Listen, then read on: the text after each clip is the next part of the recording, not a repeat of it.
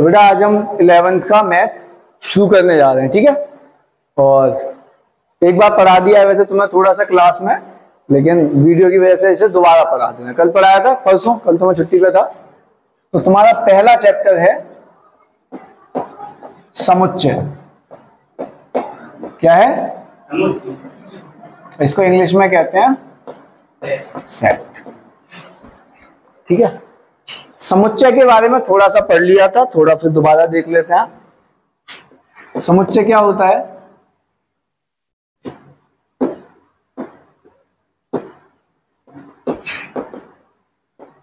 A well defined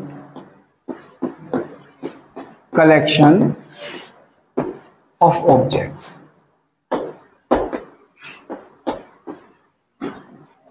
is called या. Set Hindi में अगर लिखना चाहे तो क्या लिखेंगे? वस्तुओं के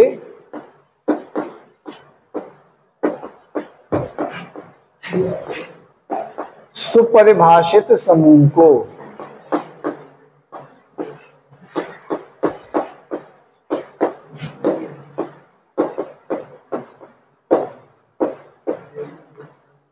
सुपरिभाषित समूह नहीं लिख रहे हैं हम। समूह की जगह हम एक शब्द प्रयोग करेंगे क्या? संग्रह। समूह समूह क्यों नहीं प्रयोग कर रहे हैं? क्योंकि गणित की भाषा में समूह एक अलग कहानी है है ना? समूह कुछ अलग ही होता है, जो कि आप जब ग्रेजुएशन वगैरह करोगे, तब आपको पढ़ने को मिलेगा कि सुपरिभाषित संग्रह है तो। क्या कहते हैं? समुच्चय कहते हैं।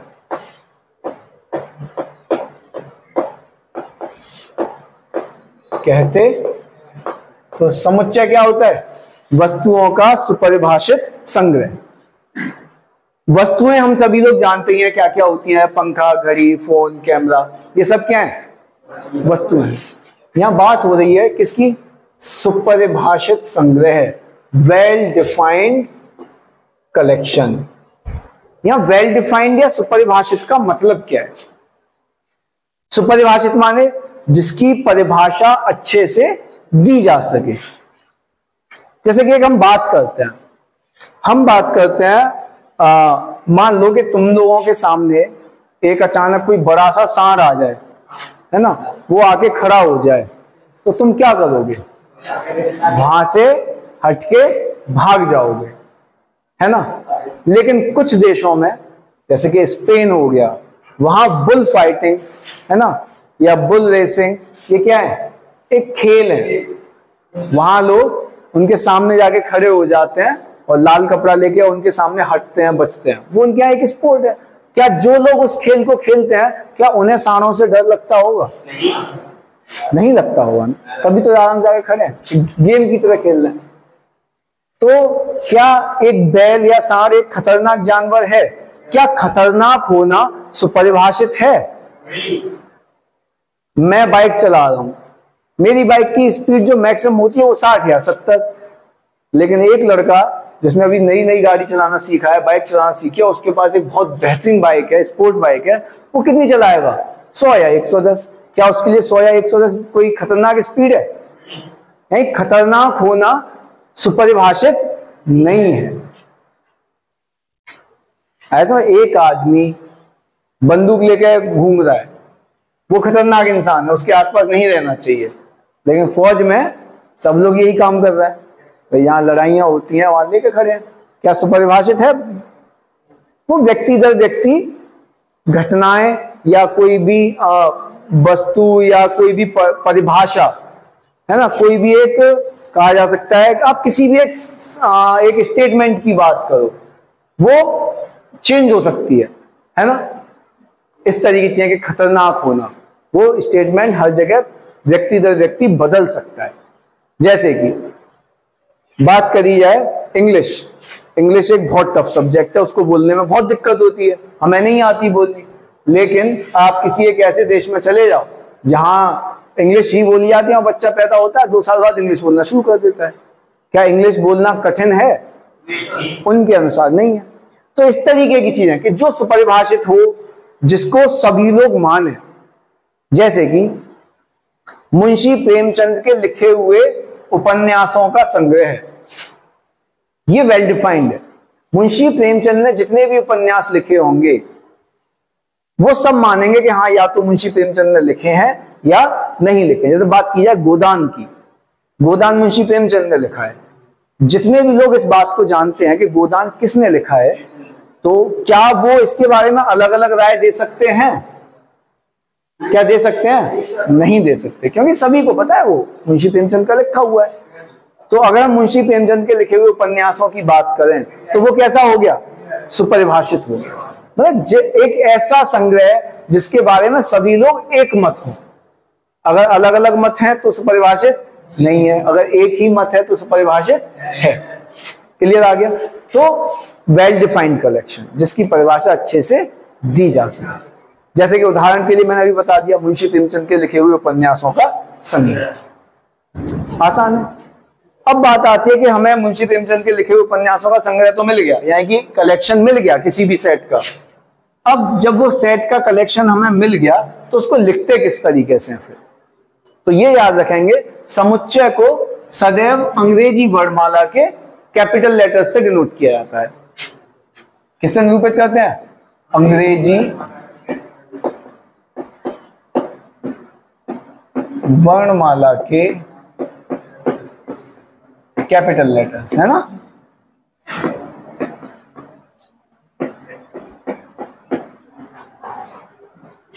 इनसे हमें, इनसे हम किसी भी समुच्चय को निरूपित करते हैं। अब जैसे कि हम एक समुच्चय की बात करते हैं, वो समुच्चय है ए से हमने उसको निरूपित किया, है ना?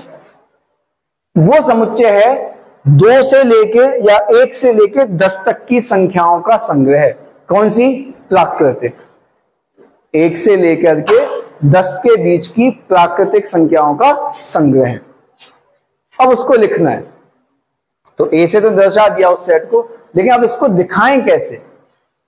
तो किसी भी सेट को रिप्रेजेंट करने के दो तरीके होते हैं। कितने तरीके होते हैं? पहला रोस्टर विधि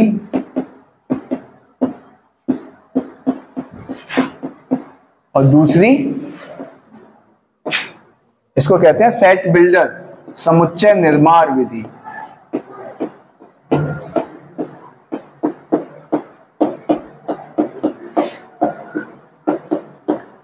समुच्चय निर्माण विधि का एक नाम और भी है, गुण विधि। ऐसे ही रोस्टर विधि का एक नाम और भी है, तालिका विधि।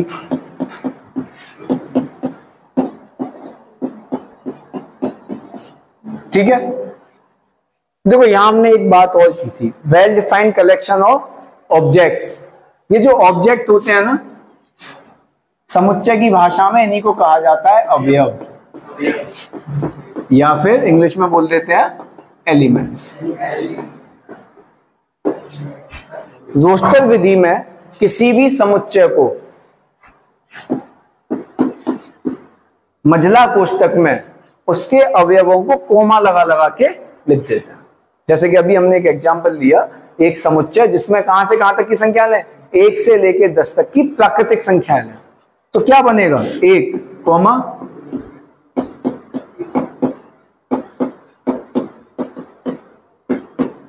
यही तो आ गई। ये कौन सी विधि है? रोस्टर विधि या कालिका विधि। इसमें हमने सभी संख्या, सभी अवयवों को क्या लिख दिया? कौमा लगा लगा के लिख दिया। समुच्चय निर्माण विधि में ये काम नहीं किया जाता। उसमें हम उसके गुण को लिख देते हैं। उसकी क्या खासियत है? जैसे इसी की बात करते तो यहाँ लिखते ए बराबर एक्स एक्स क्या है यहाँ पे? एक्स इस प्रकार है। इसको क्या बोलते हैं? X is such that. क्या बोलते हैं? X is such that x इस प्रकार है कि एक्स एक ग्यारह से छोटी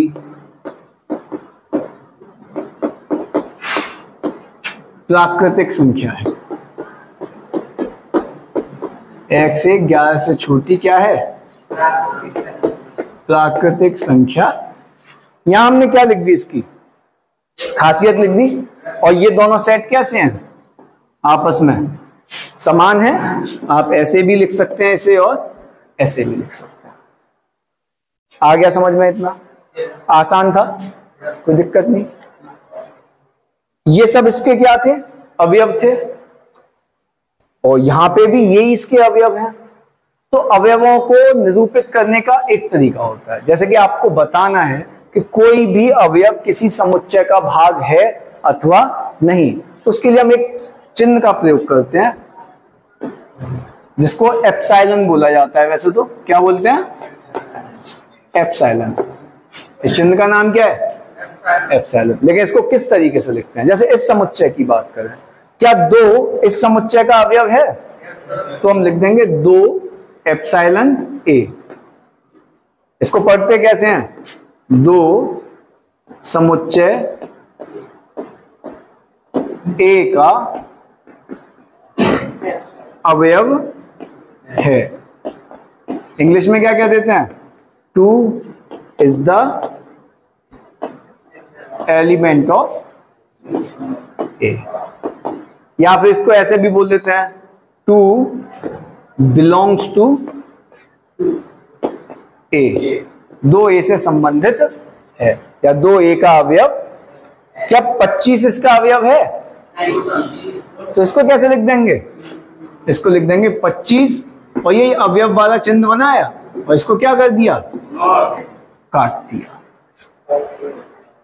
समझ में आ गया समुच्चय के बारे में? समुच्चय क्या होता है? वस्तुओं के सुपरिभाषित समूह को कहते हैं समुच्चय। परिभाषा अच्छे से दी जा सके, सभी लोग जो इसके बारे में बात करें, सब एक मत हो। दूसरा उसको दर्शाते किससे हैं? अंग्रेज़ी वर्णमाला के कैपिटल लेटर्स से। अगला, उसको दर्शाने के तरीके कितने हैं? दो, रोस्टर विधि और समुच्चय निर्माण विधि। रोस्टर विधि या तालिका विधि में क्या करते हैं? अवयवों को कोमा लगा लगा के लिख देते हैं। और समुच्चय निर्माण विधि में क्या करते हैं? उसकी खासियत को लिख देते हैं। इस तरीके से एक्स एक्स जो भी उसकी खासियत है। ठीक है? अगर कोई भी एक ऑब्जेक्ट या अवयव किसी समुच्चय में हो तो उसे कैसे लिख देते हैं? ये चिन्ह बना के जिसको एप्साइलन बोला जाता है, और अगर नहीं हो तो उसे काट देते हैं। आ गया समझ? फटाफट नोट कर लो इसे।